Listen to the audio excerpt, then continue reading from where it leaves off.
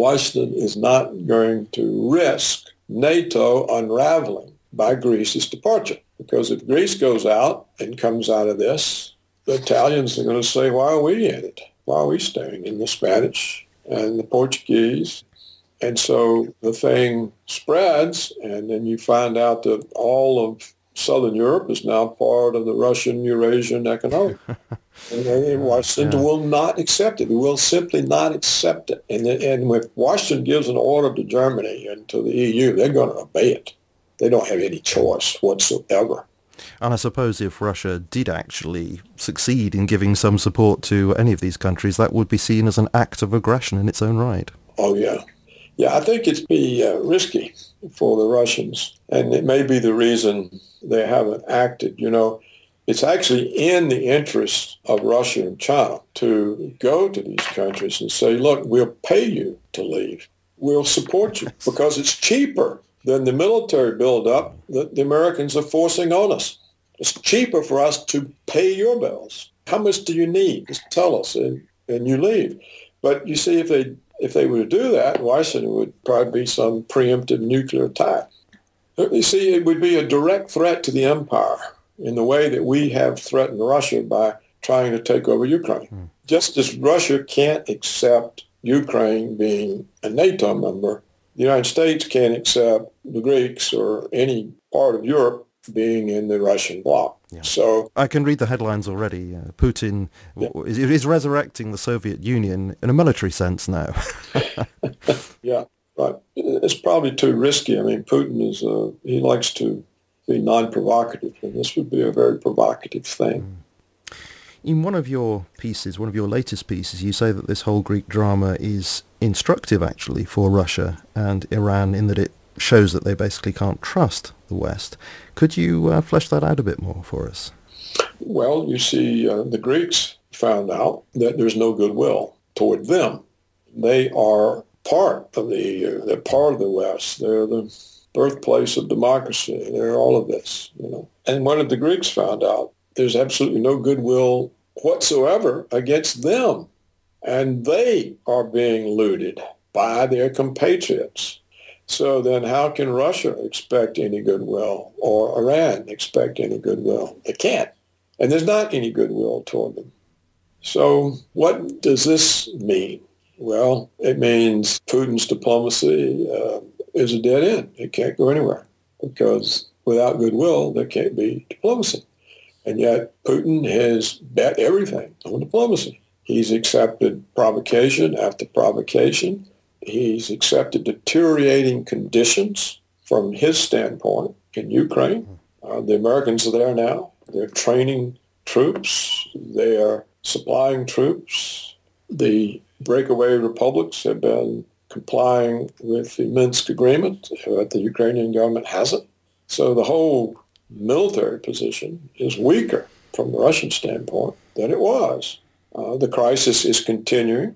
I mean, the Russians could have ended this crisis early on simply by reabsorbing the two breakaway republics who did the same thing the Crimeans did. They voted to rejoin Russia, and Putin turned them down.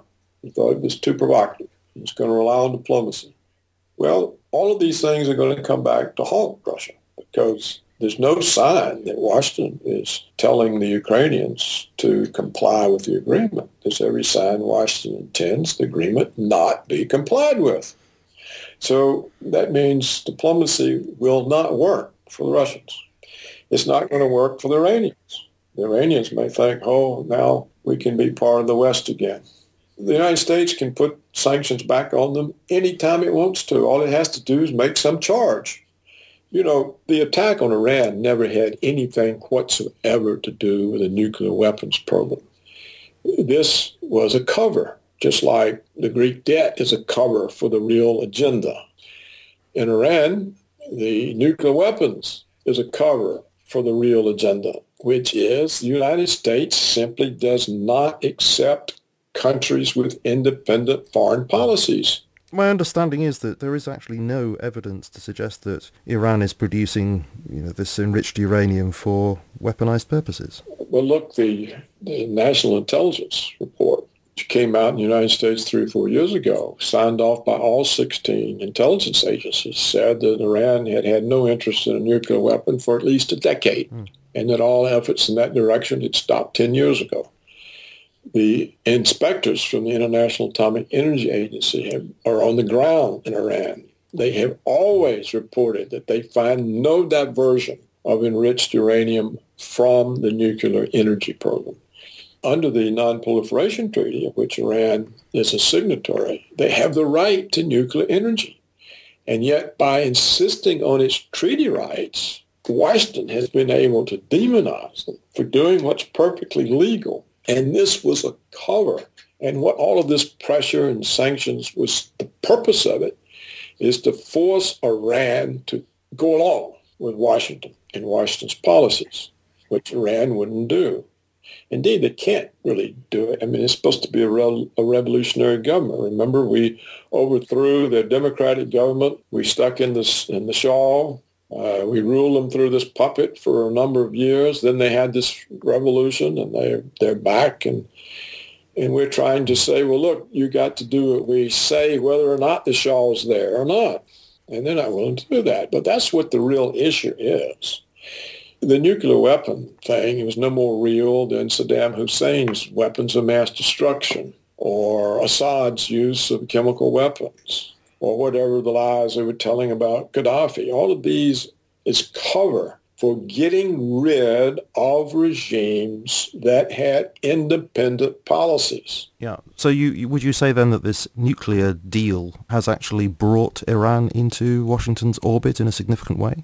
Well, I don't know. I don't know how aware they are. I mean, what's so stunning is how even Washington's victims, even its targets, end up accepting Washington's definition of the problem. So what does Iran think the problem has been? Well, it's been this suspicion that they're going to make a weapon. And they probably think that's what the problem was. Oh, the Americans, for some reason, don't believe us. They think we're making a weapon. They insist we have to give up our nuclear energy program so that we can't divert to make a weapon. But we're not making a weapon. We, we just have to convince them. And we have to keep negotiating. We'll work out an agreement. Something, one day they'll see we're not actually making a weapon. That was probably in the Iranians' head the whole time. They probably never said, they know good and well we're not making a weapon. This has nothing to do with weapons. This is doing with knuckling us under. If they don't know that, then yeah, they're now more vulnerable than ever. And I saw just the other day where, where some alleged expert in the Council of Foreign Relations was giving advice to Iran now that this $100 billion of their money that we stole and froze has to be returned. The expert is saying, oh, be sure you invest that in the United States and Europe.